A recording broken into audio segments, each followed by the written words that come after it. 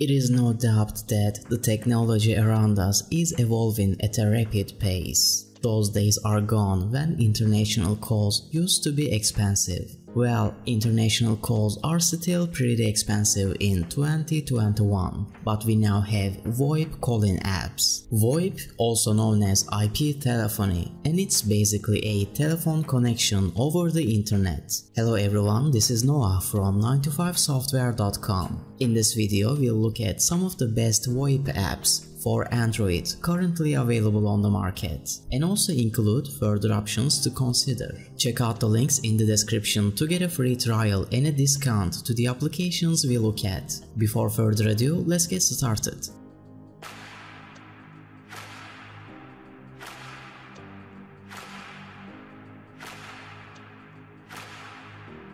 Starting at number 3, we have Viber. Viber is another best and top rated VoIP service on this list, specializing in free voice and video calls. The great thing about Viber is that it also provides users a personal phone number to call landlines and numbers outside Viber. To register with Viber, users need to have a valid phone number. Although Viber is not as popular as WhatsApp and Skype, it is one of the capable contenders in the VoIP world. Viber is yet another VoIP app that is newer than Skype, but can still easily compete with it. It is available for various other platforms and offers features such as chat, video calling, public group chats, and even calls to landline phones via subscription. In other words, Viber is a replacement for Skype, since both of them have identical functionalities. Moving on at number 2 we have Skype. Well, if you're using an iOS device, then you might be well aware of FaceTime. For those who don't know, FaceTime is a free voice and video calling app for iPhone, iPad, iPod Touch and Mac. The application works just like WhatsApp, where you call people by using mobile data. To contact friends through FaceTime, you will need the phone number or email ID associated with their Apple ID.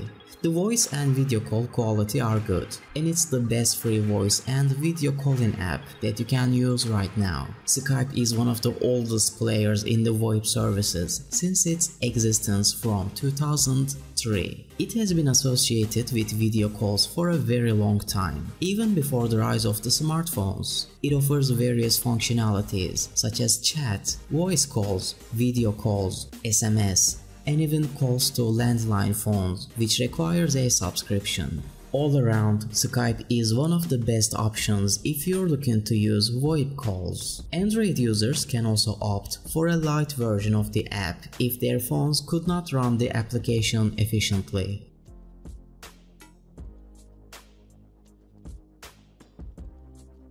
On top of our list at number 1 we have WhatsApp. WhatsApp is originally an instant messaging app known for its text messaging, voice and video calling features. The great thing about WhatsApp is that it's available for both Android and iOS devices. With WhatsApp, you can easily make voice and video calls to people worldwide for free. Do you want more? WhatsApp also allows users to share files, update status, send GIFs. However, you need to have a working phone number to use WhatsApp. This piece of application is very popular for messaging, but something you may not have noticed is that it'll support video and voice calls. The platform is rock solid and extremely popular, which makes it easier for other people to download the app so they can call each other. WhatsApp is owned by Facebook and it includes extra goodies such as address book integration, multimedia support, and file attachments. If you're someone who needs an actual phone number,